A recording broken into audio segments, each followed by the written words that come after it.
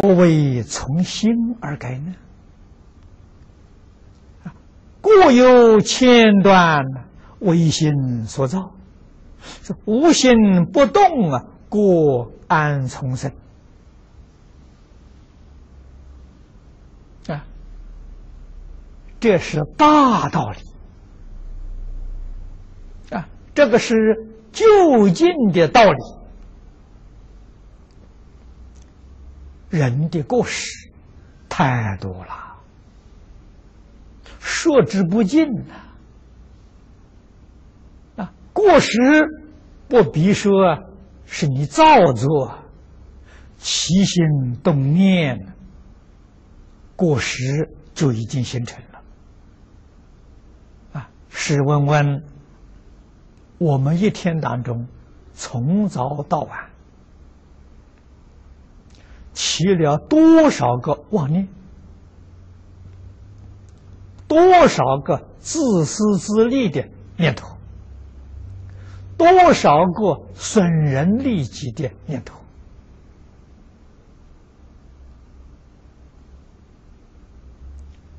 这些过患都是唯心所造啊！你心里在起心动念吗？所以，佛法的修行，修行的枢纽就是禅定。诸位千万不要错会意思啊！佛法里面修禅定只有禅宗，那你就搞错了。只要是佛法，无论是大乘、小乘、显教。密教，啊，宗门教下，许许多多的宗派，无量无边的法门，这佛家常讲啊，八万四千法门，无量法门。总而言之呢，都是修禅定啊，所以禅定啊，是佛家修行。啊，不论哪个法门，共同的原则，只是修禅定的方法不相同。啊，比如说这个密宗里头用持咒的方法修禅定，啊，这个净土宗呢是以念阿弥陀佛的方法修禅定，啊，叫持名的方法，也有用观想的方法。也有用观相的方法，啊，在教下呢有读诵经典的方法，啊，有用持戒的方法，方法多啦，没有一个方法不是修禅定。如果不是修禅定，那就不是佛法。这一个事实，我们总得要搞清楚、搞明白。那么，如果真的得定了，啊，什么叫定呢？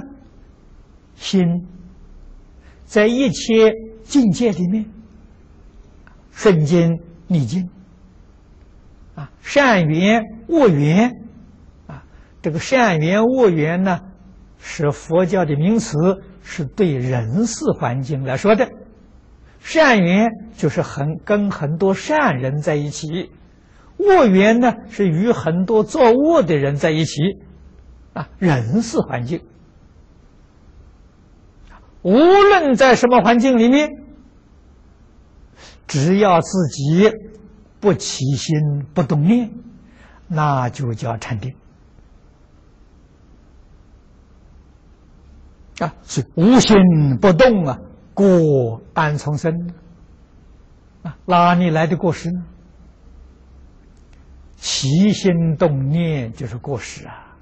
只要我们在一切境界里头啊，对人、对事、对物去练，练不动心啊，练着不起心动念。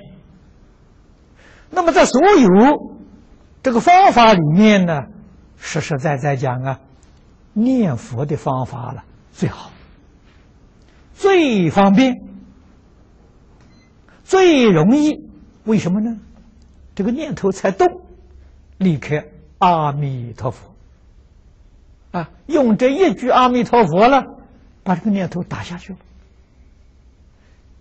念佛用意在此地啊！如果一面念佛一面打妄想，那你就全错了啦！啊，念佛无非是用这一句佛号把妄念打掉，也就是说，用一个念头取代一切妄念，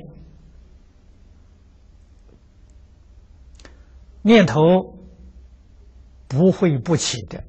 如果你要是念头不起，那你就是圣人了，你不是凡人了。凡人面对外面境界，哪有不起念头的道理呢？